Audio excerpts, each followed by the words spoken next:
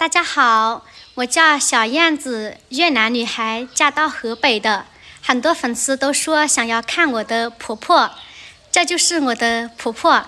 前两天回东北去了，姥姥被摔胳膊了，所以才回来的。嗯，他姥姥把胳膊摔折了，我回东北去看看。岁数也大了，当儿女的也得回去看看呢，再远也得回去看看。我这才回来。家里头这头孩子又生病，我就抓紧时间，赶紧就回来了。上次呢，我拍了一个视频，我老公不是出去喝酒了吗？我就把他关在门外面了。很多粉丝都说，你把你老公关在门外面了，你婆婆会心疼的。妈，你心疼吗？心疼怎么心疼？谁让他不听话嘞？他出去喝酒，他要不喝酒，媳妇能给他关在门外吗？这都是有原因的。他活该，我赞成。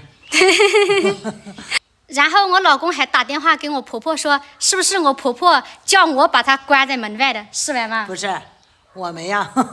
他他是不是他不是打电话去？他打电话问我了，完说呢，呃，燕子给他关在门外了。我说活该。我说谁让你不听话了？你是不是又出去喝酒去了？他才给你关在门外面。我说怨不了别人，你活该。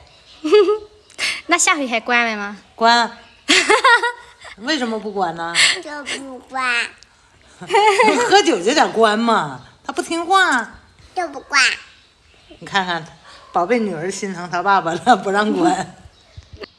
这就是我的婆婆。